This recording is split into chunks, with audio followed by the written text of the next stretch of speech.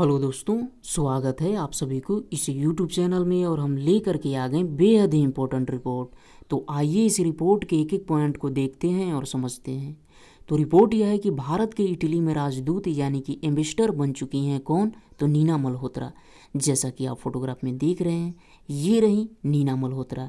ये यानी कि नीना मल्होत्रा जो हैं एम ई ए यानी कि मिनिस्ट्री ऑफ़ एक्सटर्नल अफेयर के ये एडिशनल सेक्रेटरी हैं। साथ ही उन्नीस सौ बानवे बैच के आईएफएस ऑफिसर हैं। कुछ इंपॉर्टेंट बात हम करना चाहेंगे इटली को लेकर के। यहाँ पर बात करेंगे हम इटली को लेकर के। जैसा कि आप जानते हैं कि राजधानी है रोम।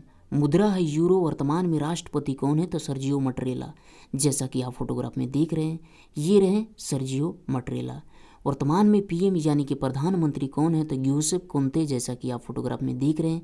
ये रहे ग्यूसेप कोंते। वही यदि हम मैप में देखना चाहें कि इटली किधर है तो ये रहा अपना कंट्री इंडिया और ये रहा इटली। तो उम्मीद है कि वीडियो पसंद आया होगा। प्लीज़ लाइक करें शेयर करें और सब्सक्राइब करें। फिर मिलेंगे आपसे कुछ ट्रेंडिंग वीडियो के साथ। तब तक के लिए धन्यवाद।